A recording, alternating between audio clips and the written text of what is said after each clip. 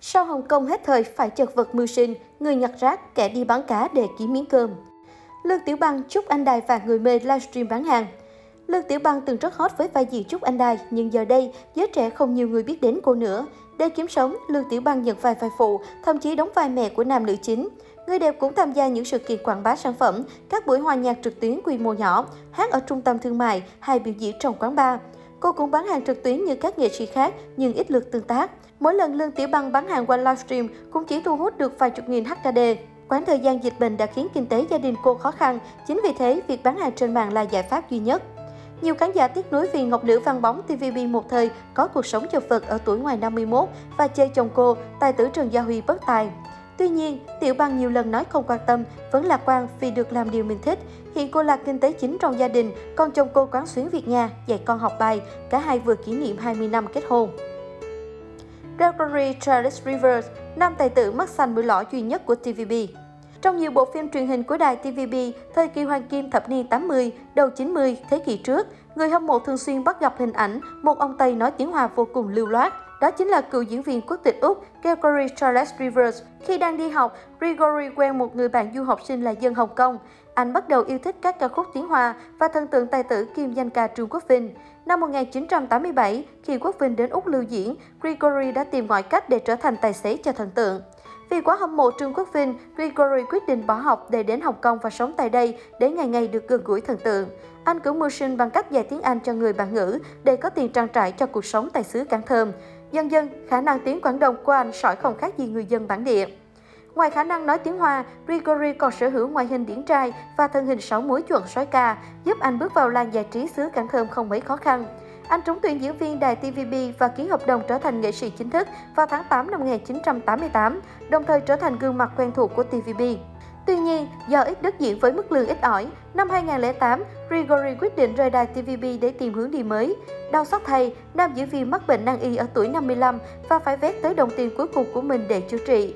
Không có vai diễn, không được nhà đài hỗ trợ, anh lâm vào cảnh túng thiếu, hiện nợ 800.000 đô la Hồng Kông.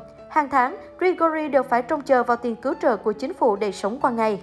Lưu Giang, diễn viên phụ quen mặt của đài TVB, ra đi vì bị sỉ nhục.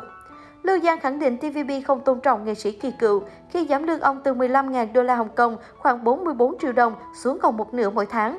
Ông cho biết mức lương đó còn không bằng một người bình thường, nhưng diễn viên phụ và lớn tuổi như ông Lưu đa phần đều không được coi trọng, chỉ lãnh lương cho có, đến cuối cùng đành đau khổ rời đài. Trong bối cảnh TVB gặp khó khăn, nhiều ngôi sao từng nổi tiếng nhưng hiện về già đều lần lượt bị sa thải hay tự nghỉ. Một số nghệ sĩ còn ý chí và năng lực chuyển sang Trung Quốc làm đủ nghề, từ biểu diễn tại các bà, sự kiện đám cưới, khai trường. Nhiều người khác không còn đam mê nghệ thuật thì chuyển sang làm công việc bán thời gian, livestream bán hàng. Đa phần đều án trách nhà đài phát kiệt cả thanh xuân của họ rồi nhẫn tầm hát hủi.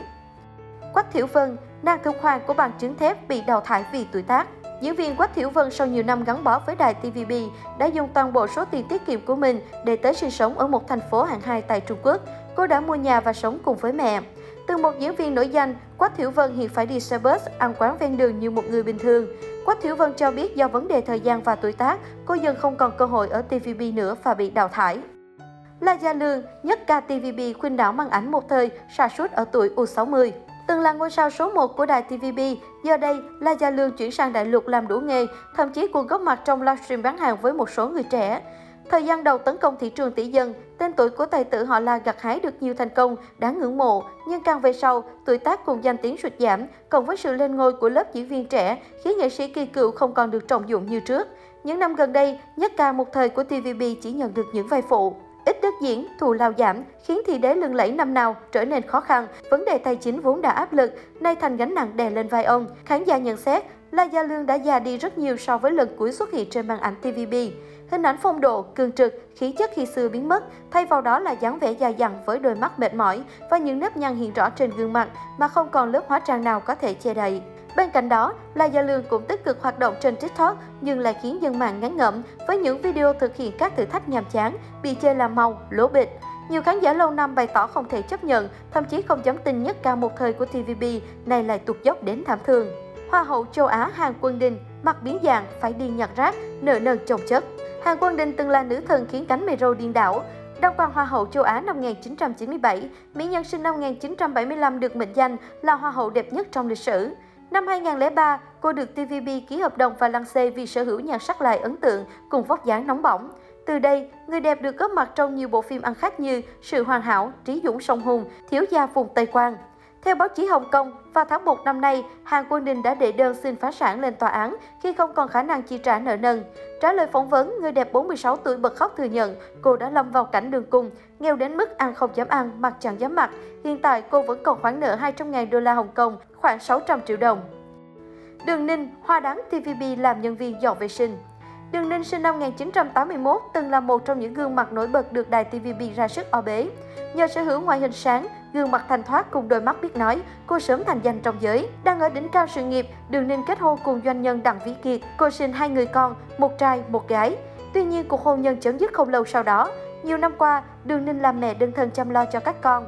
Mới đây, mạng xã hội Hồng Kông lan truyền hình ảnh Đường Ninh mặc trang phục của nhân viên vệ sinh và trà rửa bồn cầu trong một trung tâm thương mại.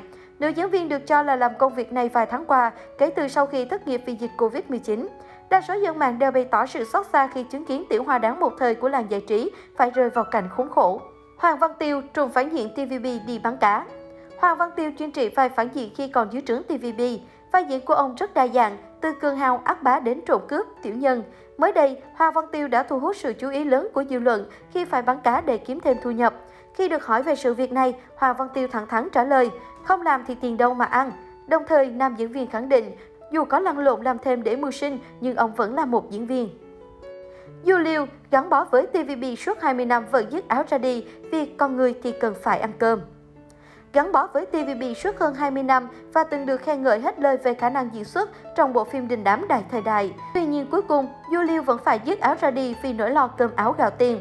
Sau nhiều năm chỉ được đóng các vai phụ, Julie quyết định rời TVB và chấp nhận làm một công nhân bình thường. Anh từng nghẹn ngào chia sẻ, Tôi rất thích đóng phim, tôi tự hào mình là một diễn viên, nhưng trước hết tôi cũng là một con người, mà con người thì cần phải ăn cơm. Quách Trác Hoa làm tài xế để không bao giờ bị chết đói. Quách Trác Hoa cũng là gương mặt quen thuộc xuất hiện trong nhiều bộ phim truyền hình của TVB. Tuy nhiên, cũng giống như những diễn viên chuyên đóng vai phụ khác của đài này, Quách Trác Hoa cũng phải chân trong chân ngoài và tìm cho mình những công việc làm thêm khác. May mắn hơn những người đồng nghiệp kể trên, Quách Trác Hoa có chuyên ngành về vũ đạo, nên ngoài tham gia diễn xuất, anh còn là một giáo viên dạy vũ đạo. Thậm chí, Quách Trác Hoa còn đi học và thi lấy bằng lái xe bus, xe tải để chắc chắn mình không bao giờ lo chết đói. Diệp Khải Nhân, nữ hoàng thư ký của TVB phải đi trang điểm kiếm thêm. Diệp Khải Nhân được mệnh danh là nữ hoàng thư ký của TVB khi cô thường xuyên được chọn vào vai thư ký trong các bộ phim truyền hình. Người đẹp trước đó từng tham gia thi Hoa hậu Hồng Kông nhưng không đoạt giải. Sau này gia nhập TVB nhưng cũng chỉ được đóng những vai nhỏ không có tên tuổi, nên cô phải kiếm thêm nghề trang điểm mới đủ tiền trang trải cuộc sống.